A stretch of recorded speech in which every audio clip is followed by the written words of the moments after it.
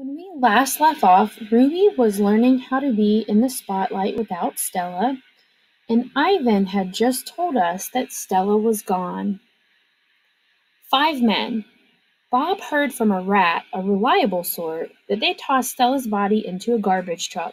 It took five men and a forklift. Comfort. All day I try to comfort Ruby, but what can I say? That Stella had a good and happy life? That she lived as she was meant to live, that she died with those who loved her most nearby? At least the last part is true. Crying.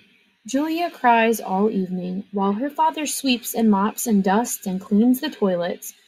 When George sees Mac, he runs to him. I can only hear a few of his words vet, should have, wrong. Mac shrugs. His shoulders droop. He leaves without a word. When George wipes the fingerprints off my glass, his cheeks are wet. He doesn't meet my eyes. The one and only Ivan. When all the humans have left, I send Bob to check on Ruby. How is she? I ask when he returns. She was shivering, Bob says. I tried to cover her with hay, and I told her not to worry because you were going to save her. You promised, Stella. Bob lowers his head. I wanted to make the kid feel better. I shouldn't have made that promise, Bob. I just wanted. I point to Stella's domain, and for a moment it seems like I've forgotten how to breathe. I wanted to make Stella happy, I guess. But I can't save Ruby. I can't even save myself. I flop onto my back. The cement is always cold, but tonight it hurts.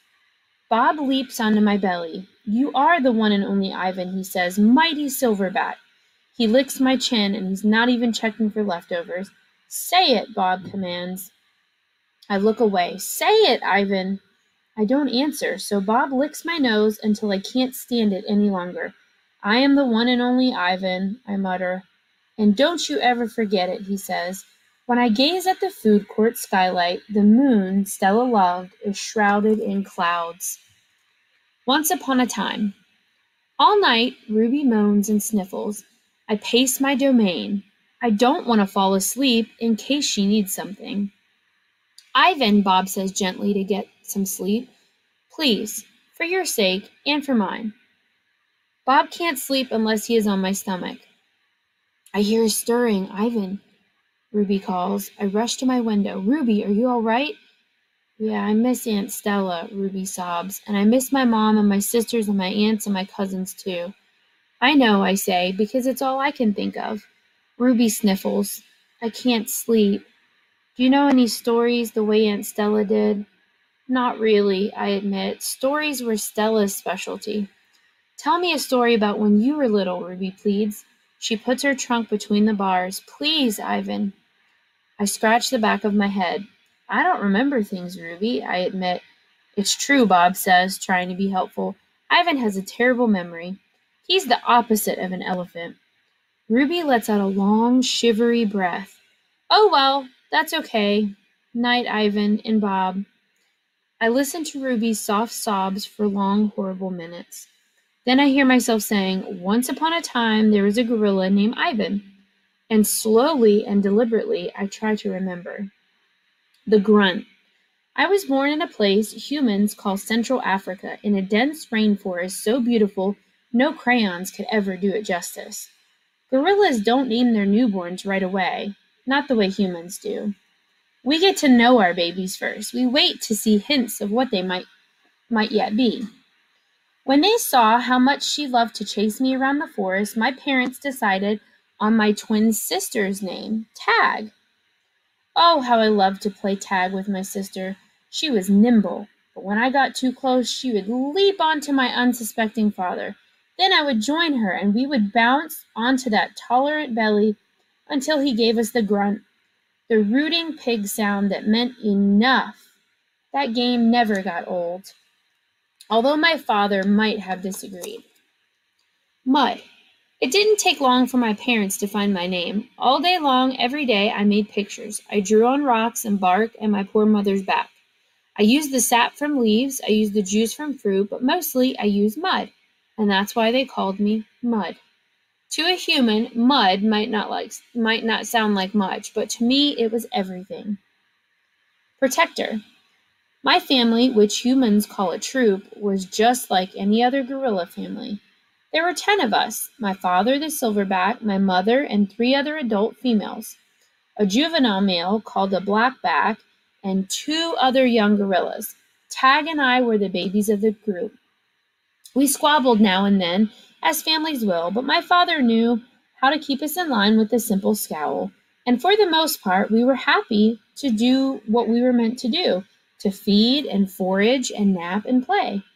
My father was a master at leading us to the ripest fruit for our morning feast and the finest branches for our night nest.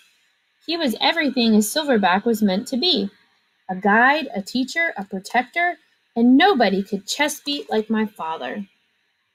A perfect life. Gorilla babies and elephant babies and human babies are not so different, except that a gorilla gets to spend the day riding on his mother's back, like a cowboy on a horse.